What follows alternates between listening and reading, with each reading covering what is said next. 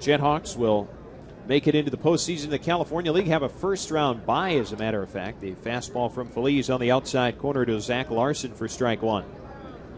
The way the California League works, Lancaster is the first half champion, gets a bye, and then awaits the winner of a series, a three game series, as a breaking pitch from Feliz is in there for a strike to Larson. No balls and two strikes.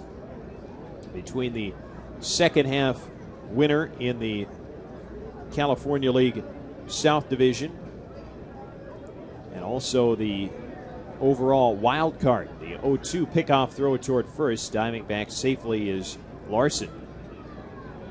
Meanwhile, the Midwest League, the top two teams from each division in each half qualify for the playoffs, and everyone has to try and win three rounds to take the title. The Bandits did that last year and also in 2011. The 0 2 from Feliz. Breaking pitch, waved at and missed by Larson. Second strikeout for Michael Feliz, and there are two down in the top of the second.